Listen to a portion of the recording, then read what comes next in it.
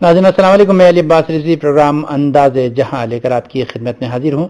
ईद सईद नौरोज़ और नए हिजरी शमसी साल की आमद की मुनासबत से आप सबकी खिदमत में दिली हदिय तबरीक और तहनीत पेश करते हैं। हमारे आज के प्रोग्राम का मौजू है पाकिस्तान के हालात, हुकूमत और अदलिया के माबेन बज़ाहिर तसादम। इस मौजू पर गुफ्तु करेंगे अपने मोज़ मेहमानों से मगर मुख्तर से वक्फे के बाद।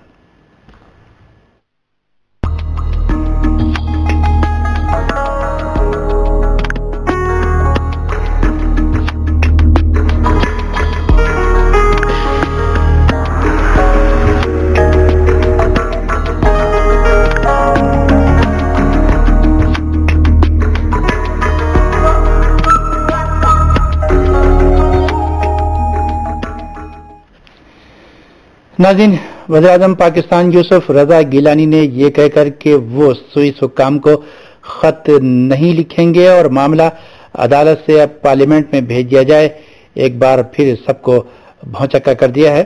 और बज़ाहिर इक्कीस मार्च को जो सुप्रीम कोर्ट में जो कुछ होने वाला है अब सबकी नज़रें उसी पर हैं।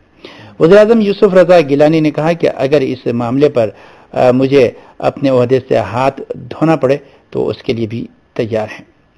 एक और अहम बात जो उन्होंने कही, वो ये कि उन्होंने मौजूदा अदालत में इस केस की जो बेंच समात कर रही है, उस पर अदम एतमाद का इजहार किया, कहा कि वो अदालत का और अदालत उजमा का एहतराम तो करते हैं, मगर बेंच का नहीं और बेंच पर एतमाद नहीं करते। ज़ाहिर है कि ये वो बयान है कि जिस पर अदलिया या आइनी माहरीन हैरत और ताजुब का इजहार कर रहे हैं और मुल्क में इस मामले को लेकर एक नई बहस छिड़ गई है। चलते हैं लंदन स्टूडियो जहाँ पर इस वक्त मौजूद हैं सियासी उमूर के माहिर जनाब डॉक्टर इनायतुल्ला अंद्राबी अंद्राबी साहब अलैक्म वालेकुम। सलाम वरहमतुल्लाहि वबरकातुहू। वज़ीर आज़म यूसुफ रजा गिलानी ने कहा है कि हम सदर को गैर मुल्की मजिस्ट्रेट के सामने नहीं झुकने देंगे। इसके लिए अगर हमें अपने अहदे से हाथ धोना पड़े तो हम उसके लिए तैयार हैं। वज़ीर आज़म के इस मौके पर आप क्या कहेंगे?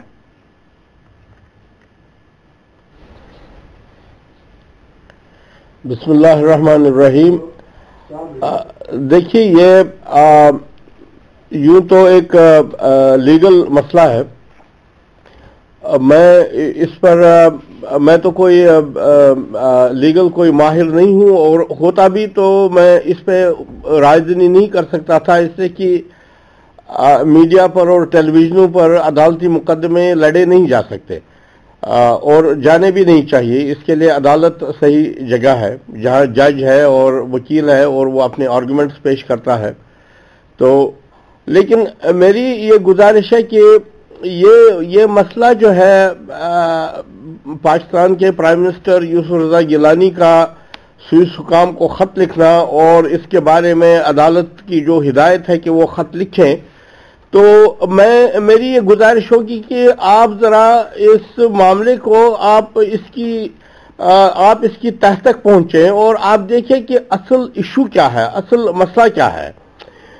आ, असल मसला मैं आपसे कहता हूँ कि असल मसला पाकिस्तान का जो है और जो आज का नहीं है, जो तब से है जब से पाकिस्तान का पाकिस्तान इमर्ज हुआ है 1947 में, उभर कर सामने आया है।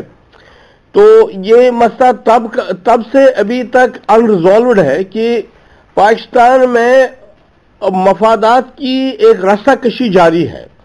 देखिए, हर माशरे में मुख्तर हल्के होते हैं।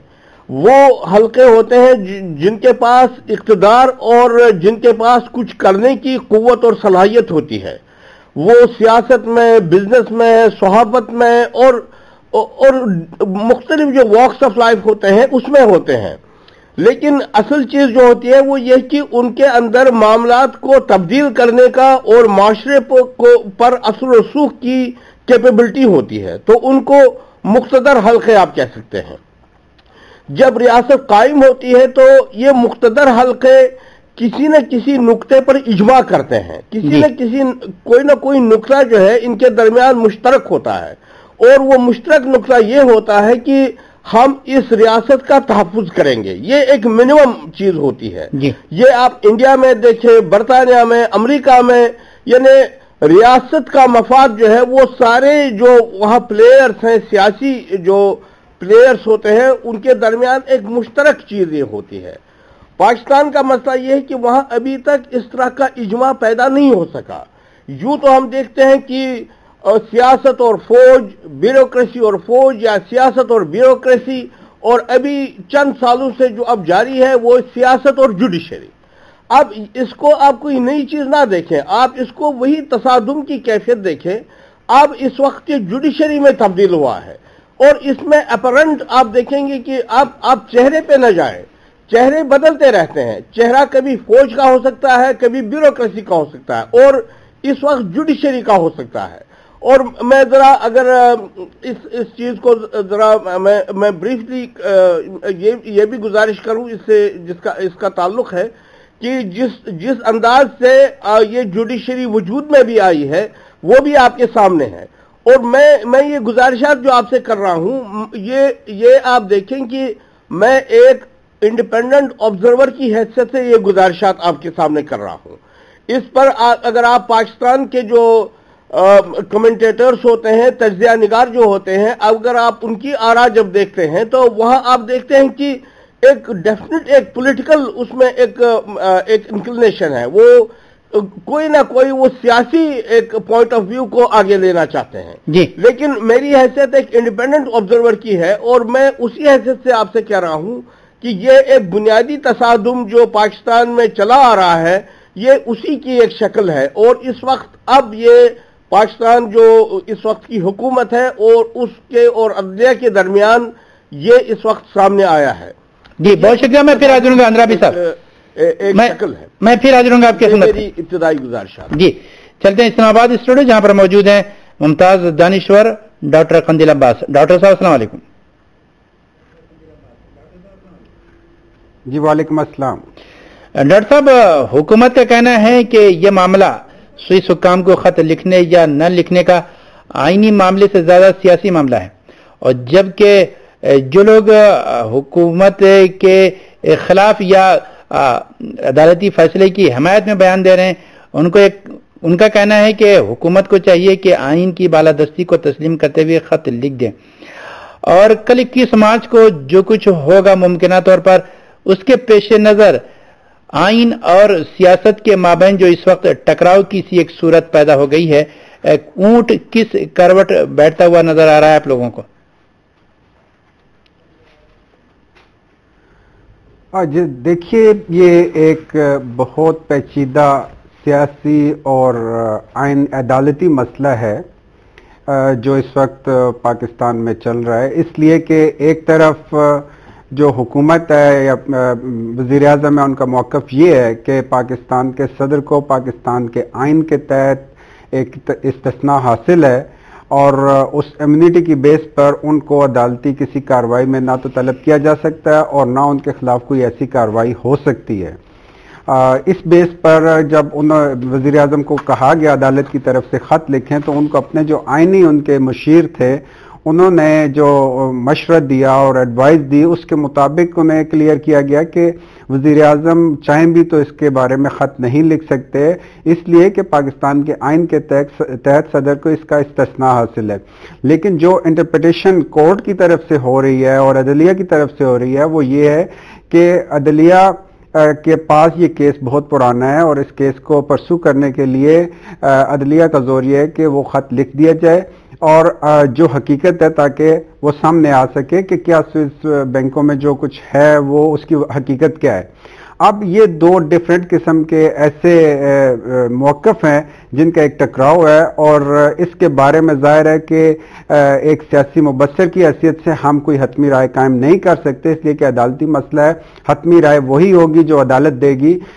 लेकिन जो इसका सियासी पहलू है वो ये है कि इस पाकिस्तान की जो पेचीदा सूरत हाल है, ये गुजशत साठ, बासठ सालों में इसका आहिस्ता आहिस्ता एक एवोल्यूशन हो रहा है और वो डेवलपमेंट जो आ रही है, पाकिस्तान में एक, पाकिस्तान एक मेच्योरिटी की जानब जा रहा है आहिस्ता आहिस्ता, और पाकिस्तान में जो एक अवामी इकतदार है, जमहूरी इकतदार है, उसको फलने फूलने का चूँकि आज तक मौका नहीं मिला था, इसको अब चूँकि इस हुकूमत ने चूँकि ये पाँच साल पूरे किए हैं, और पाकिस्तान में अदलिया को भी पहली दफ़ा अवामी सपोर्ट के साथ एक ऐसा मैंडेट मिला है कि वो आज़ादाना किस्म के फैसले कर सके, और इस तरह के बहुत से केसेस अदलिया ने भी ऐसे उठाए हैं, जिसकी माजी में मिसाल नहीं मिलती और इस तरह के कुछ डिसीज़न लिए हैं, इस तरह के कुछ राय कायम की है, जिसकी माजी में पाकिस्तान में मिसाल नहीं मिलती। यानी सियासी तौर पर भी और अदालती तौर पर भी एक पाकिस्तान में मेचोरिटी की तरफ़ जाने का सफ़र जारी है।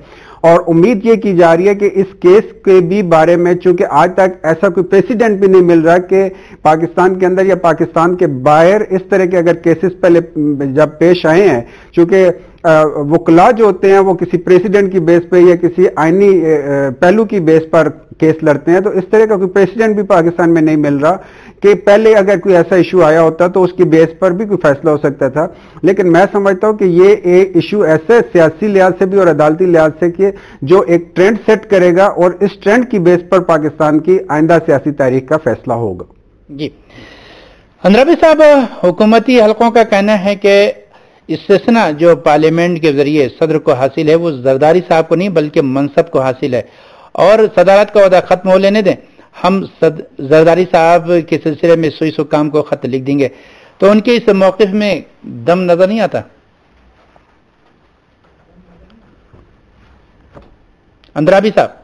बाज़ार तो एक माकूल मौकफ लग रहा है ये और अगर आप देखें तो इसमें जो जो बेसिकली इसको आर्टिकुलेट करते हैं, चौधरी एजाज हसन, वो पाकिस्तान के बहुत ही रेस्पेक्टेड एक वकील हैं, और मौजूदा जो जुडिशरी है, इसके रूही रवा हैं, वही तो इसके लीडर थे। और पाकिस्तान की जो अपोजिशन जमात है, नवाज़ शरीफ, वो तो उनका नाम एज प्राइम मिनिस्टर भी सजेस्ट करते थे। वो हालाँकि चौधरी एजाज हसन का ताल्लुक पाकिस्तान पीपल्स पार्टी से है, लेकिन नवाज़ शरीफ कहते थे कि अगर वो प्राइम मिनिस्टर आए तो उनको शायद एतराज़ ना होगा। तो उन हल्कों में भी वो काफ़ी पॉपुलर थे। लेकिन इस वक्त अब वो पॉपुलर नहीं रहे हैं, इससे कि उन्होंने ये एक स्टैंड लिया है और मैं उनको क्लोजली वॉच कर रहा हूँ। वो इस स्टैंड पर बहुत ही फर्मली स्टैंड कर रहे हैं। इस मौके पर कि सदर को, यानी सदर के मनसब को इस्तना हासिल है। तो बज़ाहिर तो ये एक एक बिल्कुल माकूलियत इसमें नज़र आ रही है। अब आ, उसकी इंटरप्रटेशन क्या है वगैरह ये तो आ, आ, अदालत जानेगी लेकिन बज़ाहिर तो इसमें मुझे अगर आप पूछें तो मैं समझता हूँ कि ये बिल्कुल एक माकूल मौकफ है और इस इसके अंदर वज़न है। जी। बहुत शुक्रिया मैं फिर हाजिर इस वक्त टेलीफोन लाइन पर मौजूद है पाकिस्तान पीपल्स पार्टी के रहनमा और मेंबर पार्लियामेंट जनाब सज्जादुल हसन। सज्जादुल हसन साहब असलम वालेकुम अस्सलाम। सजादुल हसन साहब, वज़ीर आज़म यूसुफ रजा गिलानी के इस बयान पर मुख्तलिफ़ हलकों में अलग अलग रद्द अमल सामने आ रहा है, जिसमें उन्होंने कहा है कि मैं अदालत उजमा का तो एहतराम करता हूँ, लेकिन मौजूदा बेंच में मौजूद जजों पर मुझे मुकम्मल एतमाद यानी ये तहफात का जो उन्होंने इजहार किया तो जो मुखालफी है या नाकदीन है, उनका कहना यह है कि एक तरह से ये अदलिया की तोहन है। क्या कहना चाहेंगे आप? देखिए जी, बात यह है अदलिया की जहाँ तक एहतराम का, उनके रिगार्ड का, उनकी रिस्पेक्ट का ताल्लुक है तो पाकिस्तान पीपल्स पार्टी ने अपने एक्ट से साबित किया है हमेशा कि पाकिस्तान पीपल्स पार्टी अदलिया को ड्यू रिस्पेक्ट देती है, एहतराम करती है अदलिया का अदलिया के सामने अपना सर खम करती है। इस बात का बाद सबूत शहीद जुल्फकार अली भुट्टो का फैसला है और उस फैसले पर अमल दरामद है। जो कि बाद में ये कहा गया और कहा जा रहा है, और जो मामला कोर्ट में भी है, प्रेसिडेंट की तरफ़ से रेफरेंस भी आया है कि ये दिस वाज जुडिशियल मर्डर अब बात जब तक, जहाँ तक प्राइम मिनिस्टर ऑफ़ पाकिस्तान की है तो जो उनका सात रुकनी बेंच है देखिये मैं, एक जज है वो आपका मौकफ सुन के फैसला दे दे, मेरा मौकफ ही ना सुने और वो फैसला भी दे दे।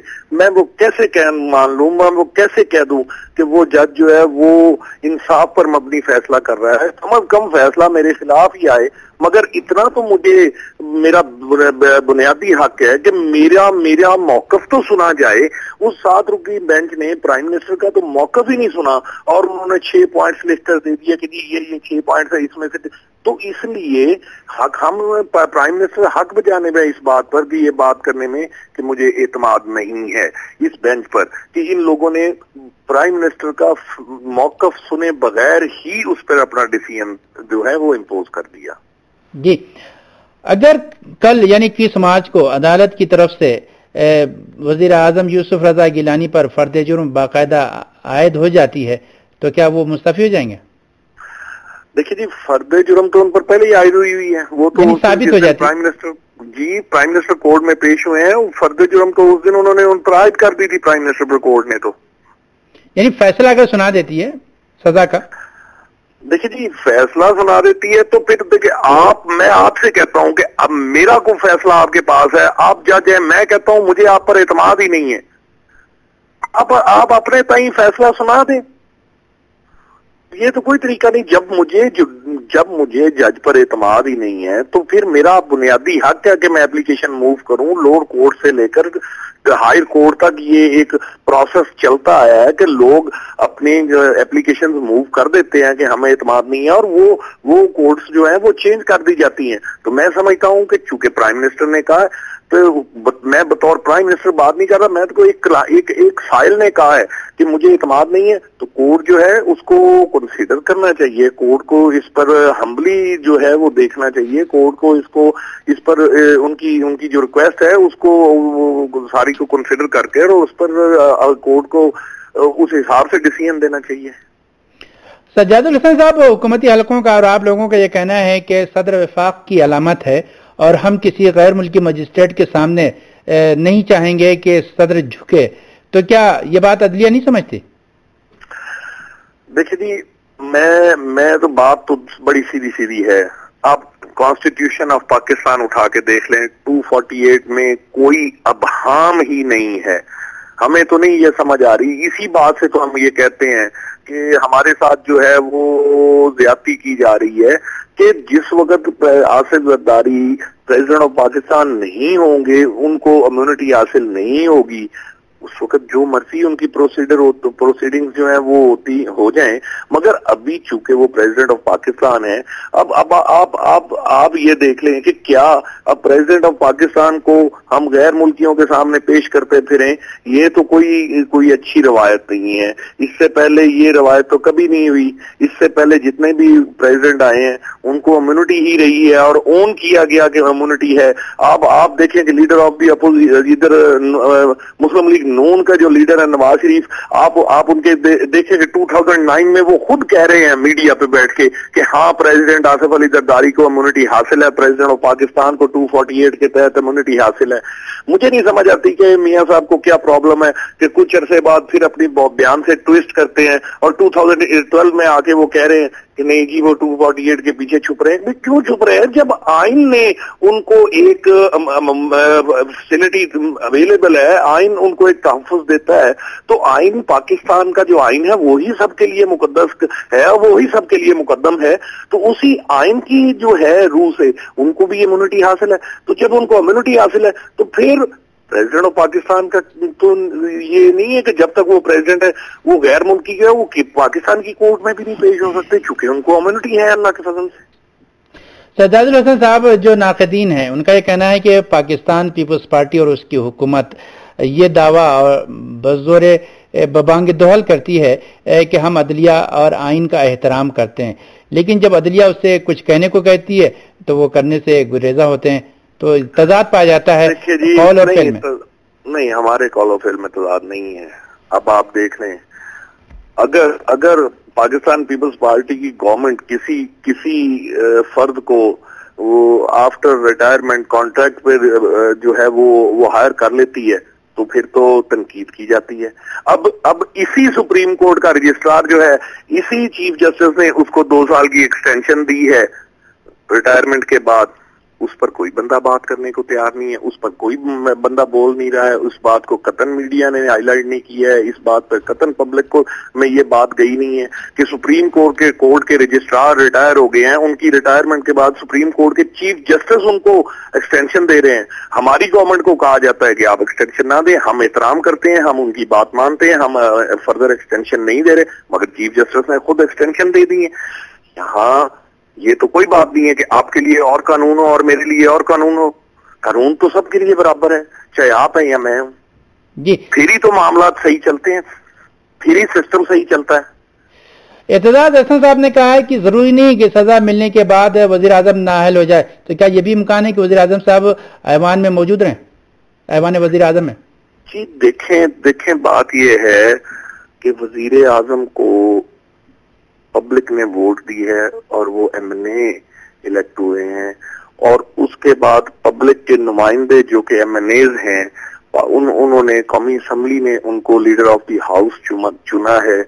उनको prime minister of the Pakistan चुना है। तो ये पब्लिक के वोटों से आए हैं और अवाम की वोटों से ये वज़ीर आज़म पाकिस्तान बने हैं और अवाम ही आ, के कॉपरेशन और उनकी मेहरबानी से प्राइम मिनिस्टर ऑफ़ पाकिस्तान बने हैं। तो ये तो अवाम ही को हक है कि वो वो कमिंग इलेक्शन में जो फैसला दे हमें कबूल होगा। जो जो मैंडेट पाकिस्तान की अवाम ने पाकिस्तान पीपल्स पार्टी को पाँच साल के लिए दिया है तो पाकिस्तान पीपल्स पार्टी अल्लाह के फजल से अपने पाँच साल पूरे करेगी। और पब्लिक के मैंडेट का एहतराम करती है और इस मैंडेट के वाले आईने पाकिस्तान भी इस जी। बहुत बहुत शुक्रिया, सज्जाद हसन साहब। आपने कीमती वक्त इनायत क्या कर वक्त रहा और आपके पास भी वक्त रहा तो मैं फिर आपकी खिदमत में दोबारा हाजिर हूँ चलते हैं इस्लामाबाद स्टूडियो, जहाँ पर डॉक्टर कंदिल अब्बास साहब हैं। कंदिल अब्बास साहब, आपने पीपल्स पीपल्स पार्टी ऑफ़ पाकिस्तान या पाकिस्तान पीपल्स पार्टी के रहनुमा और मेंबर कौमी असम्बली जनाब सज्जादुल हसन साहब की गुफ्तु सुनी। और हमारे दूसरे मेहमान ने भी हमारे नाजीन ने भी। कुछ कहना चाहेंगे अपनी तरफ़ से या मैं सवाल करूँ? आ, बिल्कुल इसमें देखिए बात यह है कि इस वक्त मैं पहले अर्ज़ कर चुका हूँ कि एक तरफ़ सियासी मौकफ है और दूसरी तरफ़ अदालती मौकफ है।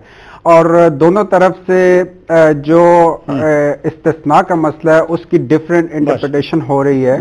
और चूँकि ये केस सदर बनने से पहले का है और अदालती मौकफ ये है कि इस ओल्ड केस में वो जो शिक है वो लागू नहीं होती। इस बुनियाद पर उन्होंने इस केस को टेकअप किया और वो आगे लेकर चल रहे हैं। लेकिन दूसरी साइड से जो सियासी मौकफ है, बिल्कुल सजादुल हसन साहब ठीक कह रहे हैं कि आइन के मुताबिक सदर को इस्तना हासिल है। लेकिन अब कंफ्यूजन जहाँ पे है कि अगर केस ऑलरेडी यानी उनके सदर बनने से पहले शुरू हुआ था तो क्या उस केस के ऊपर भी वो इस्ता लागू होगा या नहीं? अब इसकी इंटरप्रिटेशन ज़ाहिर है कि अवाम नहीं कर सकते, इसकी इंटरप्रिटेशन अब मीडिया में नहीं कर सकते। इसकी इंटरप्रिटेशन के लिए जो आइनी तरीका कार है, वो खुद अदालत ही है। और अदालत की तरफ़ से कोई ऐसा मौकफ सामने आने से पहले पब्लिक लेवल पे इसकी इंटरप्रिटेशन नहीं हो सकती। लेकिन जैसा कि सजादुल हसन साहब भी कह रहे हैं कि अगर अदालत का ऐसा कोई फैसला आता है तो उसके बाद वज़ीर आज़म के पास बहुत से ऑप्शन है। उनको यह हक हासिल है कि इस तरह के फैसले के अगेंस्ट फिर अपनी अपील करते हैं या अगर खुदा न खासा उनको सजा सुना दी जाती है और एक बहरान पैदा होता है तो उसके बाद प्रेसिडेंट के पास ये अथॉरिटी है कि वो इस सजा को माफ़ कर सकते हैं। इस तरह के आगे बहुत से ऑप्शन है, लेकिन मैं पहले अर्ज़ कर चुका हूँ कि पाकिस्तान में जो एक सियासी सफ़र का आगाज़ हुआ है और जमहूरी सफ़र का आगाज़ हुआ है, इससे पहले बहुत से बहरान देखने के बाद अब पाकिस्तान आहिस्ता आहिस्ता एक मेच्योरिटी की तरफ़ जा रहा है। और इसमें ज़ाहिर है कि इस लेवल पर पहुँचते हुए आगे बाजू का बंद गली की सूरत हाल पेश आ जाती है। लेकिन ऐसी सूरत हाल में जो बोरानी कैफियत पैदा होगी या हो रही है, इसमें एक तरफ़ अदलिया है जो कि मुल्क जो एक ढांचा होता है, उसका अहम तरीन रुकन है, और दूसरी तरफ़ मुल्क के सदर हैं, प्रेसिडेंट हैं, वो भी ज़ाहिर उसके बगैर इस स्ट्रक्चर को हम तस्वुर ही नहीं कर सकते। तो ऐसी सूरत हाल में जो भी डिसीज़न आता है, उससे एक ऐसी बुनियाद रखी जाएगी, जिससे पाकिस्तान की आइंदा सियासी तारीख रकम होगी। बहुत शुक्रिया, मैं फिर हाजिर हूँ सजाद हसन साहब, जैसा कि भी हमारे इस्लामाबाद स्टूडियो में मौजूद कंदील अब्बास साहब फरमा रहे थे कि ये देखने की ज़रूरत होगी कि ये जो केस सदर पर लगा था ये सदर बनने से पहले था। और दूसरी तरफ़ खुद अदलिया का कहना है कि अगर उन्हें इस्तना हासिल है तो उन्हें अदालत में चलकर आना चाहिए और हमसे इस्तना मांगना चाहिए। सज्जादुल हसन साहब बता ऐसा लगता है कि रबता मुनखता हो गया। आप क्या कहना चाहेंगे अंदरावी साहब इस सवाल के जवाब में?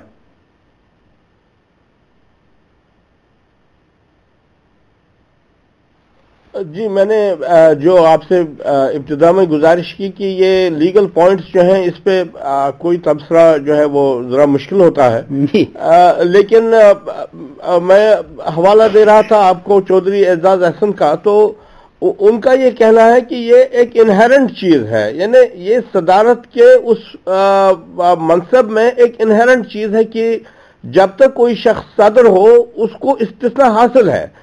ये चीफ जस्टिस की दी हुई या ना दी हुई कोई चीज़ नहीं है, कोई इसको दे या ना दे, ये आइन ने उनको दिया है। और अगर आप आइन मानते हैं तो फिर इस इस्तना को भी मानना है। ये उनकी राय है। मैं मैं कोई अपनी इसमें इंडिपेंडेंट राय नहीं दे रहा हूँ। जी। अंद्राबी साहब, जैसा कि पीपल्स पार्टी या हुकूमती हलके ये कह रहे हैं कि इस मसले को सियासी मसला बनाया गया है और जो अपोजिशन जमाते हैं वो भी इस मसले को काफ़ी बढ़ा चढ़ाकर पेश कर रही हैं और खासतौर पर नवाज़ शरीफ की मुस्लिम लीग नून की तरफ़ से। तो जब इस तरह के मौकफ सियासी जमातों और अपोजिशन जमातों की तरफ़ से आ जाए तो क्या इस शुबे को तकवीत नहीं मिलती कि ये मसला सियासी बनाया जा रहा? है जी, मैं मैं इससे, मैंने आपसे कहा ना, मैं एक इंडिपेंडेंट ऑब्जर्वर यहाँ रहकर ये देख रहा हूँ और बगैर किसी गुरूही वाबस्तगी के देख रहा हूँ on the base of merit देख रहा हूँ तो मैं आपसे कह रहा हूँ कि मैं खुद कन्विंस्ड हूँ कि यह सारा सियासी मामला है और सारी पार्टियाँ इसका सियासी इस्तेमाल कर रही हैं। वो कभी अदालत के पीछे, कभी फौज के पीछे, कभी किसी चीज़ के पीछे बातें कर रहे हैं, लेकिन सियासी रसकशी जारी है ये। मैं डॉक्टर कंदील अब्बास की उस बात से, यानी वो जो कह रहे थे कि पाकिस्तान मेचोरिटी की तरफ़ जा रहा है मैं मैं चाहता हूँ कि ऐसा ही हो लेकिन मैं मैं जरा उस बारे में आ, मैं उतना बहुत ज़्यादा पुरुद नहीं हूँ। पुरुद इसलिए नहीं हूँ कि मेचोरिटी की तरफ़ तभी जा, जाया जा सकता है जब आप जब जब आपने एक जब आपने कोई जब आपने एक बनाया एक जाबता बनाया तो जब तक आप उस जबते के असूलों का एहतराम नहीं करेंगे, पेशकदमी मुमकिन नहीं होगी मेचोरिटी मुमकिन नहीं होगी। अब देखिए ना, जमहूरियत में रूल्स ऑफ़ द गेम होते हैं। सबसे ज़रूरी है कि आप रूल्स का एहतराम करें। कभी कोई रूल आपके फ़ायदे में हो और कभी किसी रूल से आपको नुकसान भी हो। लेकिन आप जब तक रूल्स का एहतराम करेंगे, तब तक इदारे मज़बूत नहीं हो सकते हैं। ये बिल्कुल अटल बात है। जब तक आप रूल को बेंड करेंगे कि वो तब रूल है जब आपको फ़ायदा दे, तब रूल नहीं है जब आपको फ़ायदा ना दे तो इससे इससे ना इदारे मज़बूत होंगे, न मेच्योरिटी पैदा होगी। अब देखिए, इस वक्त ये हमारा मौजूद बहस नहीं है, लेकिन मैं आपसे कहता हूँ कि अभी जो मिमो गेट का वहाँ पे स्कैंडल हुआ और अदालत को इसमें लाया गया तो ये ये बात बहुत ही वादा है कि वहाँ अदलिया का इस्तेमाल किया जा रहा है। वहाँ लोग अपने मफादात के लिए अदलिया को इस्तेमाल कर रहे हैं। वरना वो मेमो गेट स्कैंडल जो है, अगर वो किसी भी जगह हो, इंडिया में हो, किसी भी जगह हो तो वो वहाँ की जो इन्वेस्टिगेशन एजेंसीज है, उसको वो प्रोव करेंगी। इसलिए कि उसमें एडजुडिकेशन का वो दखल नहीं था। उसमें ये दखल नहीं था कि आप आप क्या कानूनी तौर, आप इसकी इसकी जरा आप इसकी एडजुडिकेशन करें, आप इसका वज़न देखें। वहाँ तो हकाइक ढूँढने का मसला था। और हकाइक ढूँढने का मामला जो है वो रियासत के सुराग रसा एजेंसी जो है उनके साथ हो, होता है। तो नॉर्मली तो ये होता है कि वहाँ के जो कानून कानून नाफिज करने वाले इदारे हैं उन्होंने इसका पूरा पता लगाया होता कि ये क्या मामला है मेमो का। इसमें अदालत का पहले किरदार ही नहीं था बल्कि अदालत ने जब इसको एडमिट किया तो मैं खुद शौक मेरा खुद शौक हुआ। और मैं मैं मैं यानी मैं मैं इससे जरा मुझे एक तसल्ली हुई कि वहाँ जो असमा जहांगीर हैं जो बार एसोसिएशन की है मैंने जब उनका शौक देखा तो मैं जरा मुझे तसल्ली हुई कि चले किसी ने इसको शॉकिंग माना। तो मैं एक यानी मैं कह रहा हूँ कि अदलिया को इस्तेमाल किया जा रहा है और ये ये ये बहुत ही बुरी बात बात है। बहुत शुक्रिया मैं फिर हाजिर डॉक्टर कंदिल साहब, बहुत से लोगों का ये कहना है कि वज़ीर अजम पाकिस्तान इस तरह का बयान देकर और अदलिया की तरफ़ से मुमकिन तौर पर सज़ा का फैसला सुनने और लेने के बाद एक तरह से सियासी कुर्बानी देना चाहते हैं ताकि आइंदा इंतबात में जो होने वाले हैं पार्लियामेंट के या जनरल इलेक्शन उसमें पीपल्स पार्टी के लिए जो है वो वोट और हिमायत हासिल की जाए। सियासी मुबसिन का क्या कहना है इस्लामाबाद के गलियारों और मुल्क के दीगर इलाकों में? गुजशत दिनों एक बड़े दिलचस्प दिलचस्प स्टेटमेंट में प्राइम मिनिस्टर ने एक तकरीब में कहा था कि मेरे पास दो ऑप्शन है। एक तरफ़ अगर मैं खत लिखता हूँ तो मेरे लिए सजा मौत है और दूसरी तरफ़ अगर खत नहीं लिखता तो छह महीने की कैद है। तो उन्होंने एक यूनिवर्सिटी में लोगों से पूछा, बताइए मैं क्या करूँ? तो सिचुएशन इस तरह की है प्राइम मिनिस्टर या जो हुकूमत है, उनकी इंटरप्रिटेशन इस इशू में ये है कि अगर वो सदारती इस्तना के अगेंस्ट यानी जो आइनी तौर पर सदर को हासिल है, उसके, उसको वायलेट करते हुए अगर वो खत लिखते हैं तो एक तरफ़ यानी आइन की वायलेशन है आइन को तोड़ने के मुतरदफ है, और पाकिस्तान में आइन को तोड़ने की सजा, ज़ाहिर है कि सजाए मौत है। और दूसरी तरफ़ कंटेम्प्ट ऑफ़ कोर्ट का इशू है। अगर वो खत नहीं लिखते तो कोर्ट कहती है, आपने हमारे हुक्म माना नहीं और आप कंटेम्प्ट ऑफ़ कोर्ट की वजह से जेल जाएँ। अब इस तरह की सिचुएशन में ज़ाहिर है कि प्राइम मिनिस्टर ने जो एक ऑप्शन चूज़ किया है, उसकी बेस पर उन्होंने अदालत में कह दिया है कि वो खत नहीं लिख सकते क्योंकि उनकी अपनी बिलीव अपनी इंटरप्रिटेशन और अपना अंडरस्टैंडिंग ये है कि खत लिखने की सूरत में वो आयन की वायलेशन हो जाएगी। अब अगर वो फ़र्ज़ करें, अगर वो खत नहीं लिखते और कंटेम्प्ट ऑफ़ कोर्ट उन पर लग जाती है और वो उहदे से चले जाते हैं, लेकिन एक दफ़ा फिर यही इशू उस वक्त सामने आएगा जो जो नया प्राइम मिनिस्टर इनको रिप्लेस करेगा, जब वो अपने इकतदार में आके बैठेगा तो कोर्ट की उस नए प्राइम मिनिस्टर से भी यही तो होगी, ये इनके जाने के बाद ज़ाहिर ख़त्म नहीं हो जाएगी। इससे बहरान में थोड़ी सी और पेचीदगी पैदा हो सकती है। मैंने इसीलिए अर्ज़ किया कि जो मैं मेचोरिटी की बात कर रहा था, उसमें इशू यह था कि पाकिस्तान में इससे पहले जब इस तरह के इश्यूज़ पैदा होते थे तो उसको देखने वाला कोई नहीं होता था, उसकी रेजोल्यूशन नहीं होती थी और बंद गली की सूरत में बाजू का जमहूरी अमल का तातुल हो जाता था और फौज सामने आ जाती थी और बिल्कुल गैर जमहूरी इकदाम सामने होते थे। लेकिन गुजशत चार सालों के दौरान हमने देखा बहुत सी ऐसी स्टेजेस आई जब बहुत सी जगहों से यह आवाज़ आना शुरू हुई कि अब सियासी अमल खत्म हो जाएगा और फौज आ जाएगी या ये हो जाएगा वो। लेकिन हमने देखा कि जिस सियासी मेच्योरिटी की मैं बात कर रहा हूँ, उसकी बुनियाद पर हमने देखा कि अवाम ने शौर का सबूत दिया, फौज ने अपने शौर का सबूत दिया अदलिया ने अपने शौर का सबूत दिया। अब मुश्किल ये है सियासी मेच्योरिटी की जो आइडियल सिचुएशन अंदराबी साहब बता रहे थे रूल ऑफ़ लॉ की, वो एक आइडियल सिचुएशन है, लेकिन उस तक पहुँचने के लिए बहुत से मुश्किल रास्ते वो तय करने होंगे। अब जिस तरह की सिचुएशन पेश आ रही है पाकिस्तान में, चूँकि इस तरह के पहले पाकिस्तान के पास प्रेसिडेंट्स नहीं है और इस तरह की मसाले मौजूद नहीं है कि अगर ऐसा होगा तो फिर क्या करेंगे अगर ऐसे होगा तो फिर क्या करेंगे। तो अब जो सिचुएशंस पेश आ रही है मैं बार बार तीसरी दफ़ा यही कहूँगा कि इन्हीं की बुनियाद पर पाकिस्तान का सियासी मुस्तबिल इन्हीं की बुनियादों पर आ, इसको रकम किया जाएगा। कंदिल अब्बास साहब अगला सवाल भी आप ही से करना चाहूँगा कि आप देखें कि वज़ीर आज़म यूसुफ रजा गिलानी ने भावलपुर में यह बात तो कही कि खत लिखना आइन से गद्दारी है और आइन से गद्दारी की सजा फांसी है। और अदलिया की एहानत या अदलिया का हुक्म ना मानना जो है उसकी सजा छः माह कैद है। तो आप देखें कि ये बात तो खुद अदालत ही तो कह रही है कि खत लिखें और अगर फ़र्ज़ कर लें कि उनसे आइन से गद्दारी की सजा सजद हो जाती है तो मुमकिन तौर पर ये सारी फर्जी बातें हो रही हैं।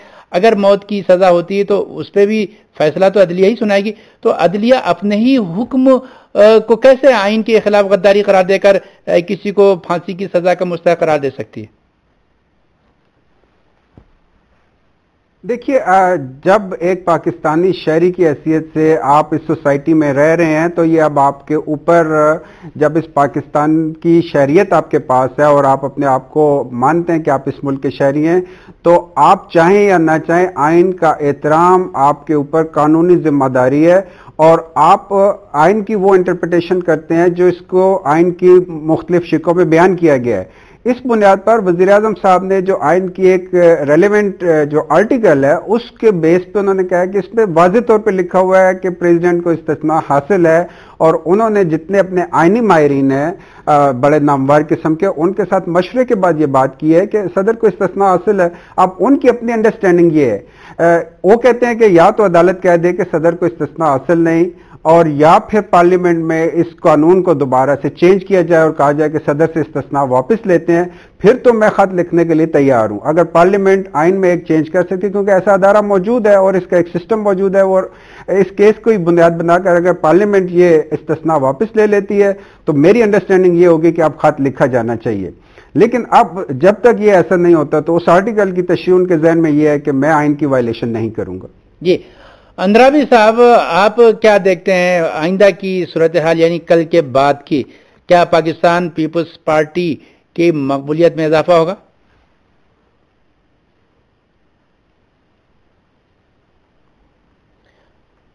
जी, मकबूलियत में इजाफा तो बहरहाल उसका, इसके साथ उतना कोई गहरा ताल्लुक नहीं है। पाकिस्तान पीपल्स पार्टी वाले ये पहले भी कह, कहते आ रहे हैं कि हमें किसी सियासी शहीदों की तो ज़रूरत नहीं है इससे कि खुद जुल्फ़ार अली भुट्टो तो आ, आ, अपनी जान की बाजी खो गया अदालत के एक फैसले पर ही उनको आ, लटकाया गया। तो लिहाजा यानी मुझे तो नहीं लग रहा है उसका कोई उतना इसके साथ गहरा ताल्लुक है। लेकिन ये बात मैं कह सकता हूँ कि इससे बहुत ज़्यादा कोई तब्दीली नहीं होगी। अभी हम पिछले एक दो साल से पाकिस्तान में एक गर्मा गर्म बहस चल रही है, बल्कि अखबार ने तो डेट्स देना शुरू किए थे कि गो जरदारी, गो, और वो कह रहे थे कि गया गया। यानी कोई देखने वाले सोच रहा था कि बस कल सुबह ये हुकूमत नहीं होगी। तो अब हमने देखा कि नहीं, इस हुकूमत ने रेजिलियंस दिखाई है। कैसे कैसे रहना चाहिए, ये ये ये ये समझते हैं कि इसके क्या तरीके हैं अपने आप को कुर्सी में रखने के लिए। तो लिहाजा मैं नहीं समझता कि कोई फ़ौरन कोई तब्दीली होगी।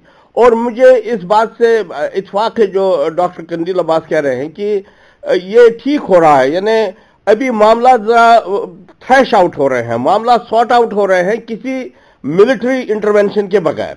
तो लिहाजा मैं समझता हूँ कि ये मरहला भी गुजरेगा और हम देखेंगे कि इस मरहले से खैर ही बरामद हो, लेकिन कोई बड़ी तब्दीली मैं नहीं देखता कि आएगी।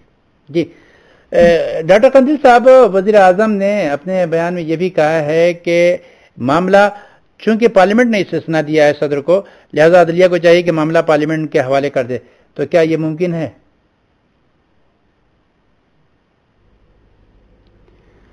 देखिए पार्लियामेंट को दिए जाने के बारे में या इसके जो छह ऑप्शन सुप्रीम कोर्ट ने रखे थे, उसके बाद में बाद में ये एक्सप्लेनेशन भी आई कि ये छह ऑप्शन प्राइम मिनिस्टर के लिए नहीं थे, बल्कि कोर्ट के लिए थे कि वो इनमें से किसी एक ऑप्शन को अडॉप्ट कर सकते हैं। लेकिन ये उनकी सौबदीद भी है कि वो इसमें से कौन सा ऑप्शन लें।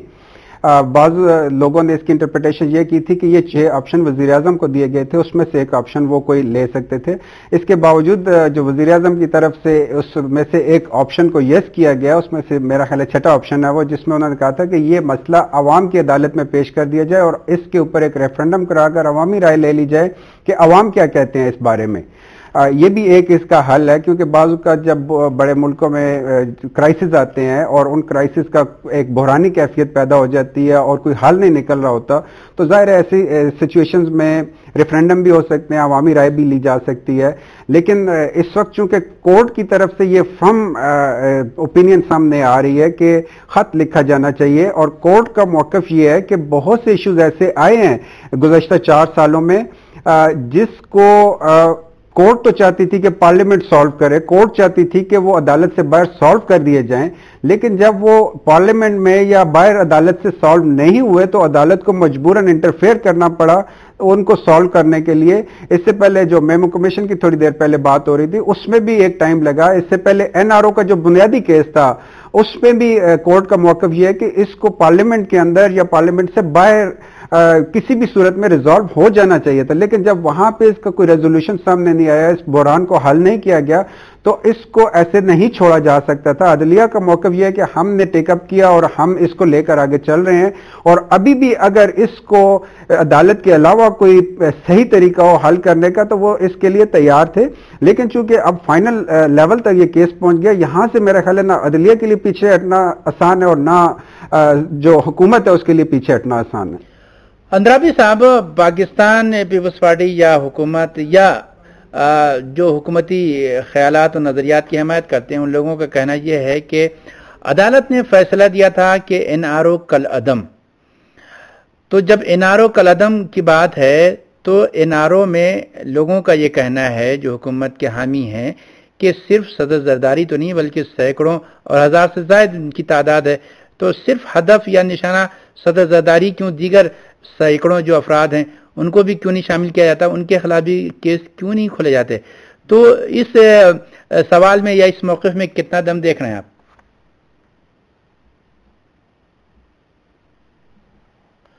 देखिए मैंने आपसे यही कहा कि अगर आप अगर आप ये देखें कि क्या क्या कहा जा रहा है यानी आप अल्फाज देखें तो उसमें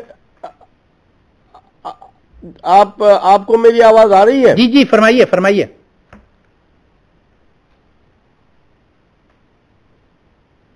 अंदरा साहब फरमाइए। जी अब्बास साहब आपको मेरी आवाज़ आ रही है? जी जी आवाज़ आवाज़ आ रही फरमाइए आप मैं सुन रहा हूँ। अच्छा अच्छा हाँ हाँ तो, तो मैं ये कह रहा था कि अगर आप इसकी तरफ़ जाएँ कि क्या कहा जा रहा है तो उसमें on the face of it यानी बिल्कुल अपरेंटली तो उसमें सेंस लग रहा है, वज़न लग रहा है। लेकिन मसला यह है कि लोग, बात तो सही कह रहे हैं, लेकिन उनकी जो, उसके पीछे जो कार फरमा है, जो नियत और जो इरादे और जो एजेंडा, उसका मसला है। अब ये एनआरओ की बात कर रहे हैं आप तो अब देखिए ना, इस वक्त परवेज मुशर्रफ के बाद जो पाकिस्तान में ये सेटअप आया है, ये सारा सेटअप एनआरओ का मरहून मिन्नत है। अगर एनआरओ ना होता तो ये सारे लोग पाकिस्तान ना आए होते जो आ गए हैं और जिनने इलेक्शन लड़ा और जिनने इलेक्शन जीता या जो अपोजिशन में बैठे। दोनों, नवाज़ शरीफ और पीपल्स पार्टी, ये सब लोग, ये तो एनआरओ जब आ गया तो उसकी बदौलत पाकिस्तान आ सके ये। अगर आप एनआरओ को नॉक ऑफ़ करते हैं तो ये सारा, सारी बुनियादी हिल जाती है मौजूदा जो इस वक्त डिस्पेंसेशन है। तो लिहाजा उसमें उसमें बजाहिर तो एक वज़न लग रहा है कि अगर एनआरओ का मसला है तो सदर जरदारी ही निशाना क्यों? उसमें तो निशाना बहुत सारे बन सकते हैं। अब अब देखना ये कि ये लोग जो कहते हैं वो क्यों कह रहे हैं वो अलग बात है लेकिन बजाहिर बात में वज़न है। जी बहुत शुक्रिया। कंदिल अब्बास साहब वक्त हमारे पास बहुत कम बचा है। एक से सवा डेढ़ मिनट में आपका जवाब चाहूँगा कि इस वक्त आप इस्लामाबाद में मौजूद हैं। लोग कल के बारे में और कल के बाद के बारे में क्या बातें कर रहे हैं? देखिए, इस वक्त तक मीडिया में कोई गैर मामूली किस्म की कोई ऐसी मूवमेंट नहीं है। मैं अभी इस्लामाबाद में हूँ। इस्लामाबाद में भी कोई ऐसी गैर मामूली किस्म की मूवमेंट नज़र नहीं आ रही है। सब चीज़ें स्मूथ हैं और चूँकि ये इशू बहुत अरसा पहले से चल रहा है और इसके मुतव नतज लोगों के सामने जो हुकूमत के अहमी है, उन्होंने अपनी परसेप्शन बनाए हुए हैं। जो अदलिया का साथ दे रहे हैं, उन्होंने अपनी परसेप्शन बनाई हुई हैं।